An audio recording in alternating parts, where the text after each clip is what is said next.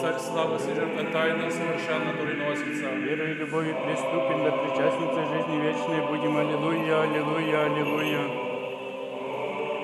Господи, владыко живота моего, дух праздности, уныния, любоначалия и празднословия дашь мне.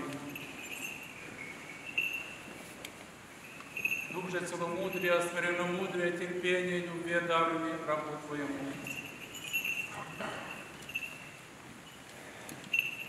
И, Господи, Царю, даруй мне зрите моя прегрешения, и не осуждайте брата моего, яко благословение сего веки веков.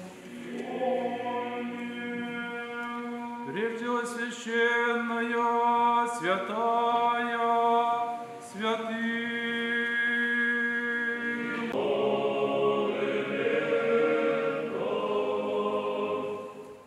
отцы, братья и сестры, сегодня среда, первая седмица Великого Поста, и мы совершили первую литургию прежде священных даров. Для людей верующих при всех опасностях человеческой жизни есть надежда и убеждение в нашей вере, что все, что происходит с человеческим родом, оно связано прежде всего с заботой Божией о спасении каждого из нас. Мы можем это в земной жизни и не понимать, иногда и не принимать, но в этом аксиома, которая нам сказана с Божественного откровения. Поэтому, невзирая на трудности, печали, мы должны верить, мы должны надеяться, мы должны найти успокоение для себя во Христе Иисусе. Великий пост, он всегда ограждает человека от всего ненужного.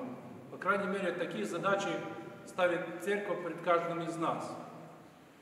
В этом году эта задача усугубляется вот теми всеми сложностями, которые связаны с военными действиями. И с неизвестностью того, что будет завтра. Но, в принципе, человек, верующий, всегда должен жить именно так. Он должен делать все зависящее в сегодняшний день, но все упование возлагать на Бога. И всегда помнить, что мы рождаемся для вечного спасения. Жизнь земная очень ценна для каждого из нас, это дар Божий, но это дар Божий для вечности. И поэтому не будем унывать, не будем роптать, не дай Бог, а будем с верой и упованием смотреть в будущее.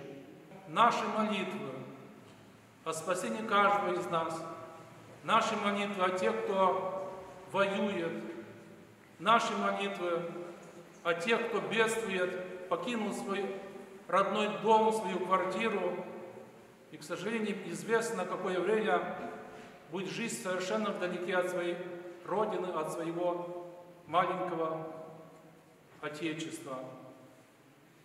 Поэтому, дорогие братья и сестры, Великий пост – это подвиг.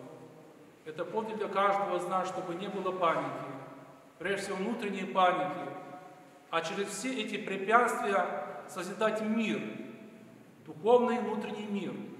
Вот этот мир и обогащает мир внешний. Не пересуживать, не передавать сплетни, не зануриваться в информационные поле, которое ничего нам доброго и правильно объективно не скажет.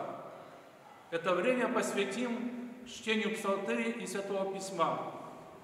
Если будет еще время и чтению святых отцов, вот то все, что останется с нами и здесь, в этой жизни, и в жизни будущего века. Храни всех Господь. Господи.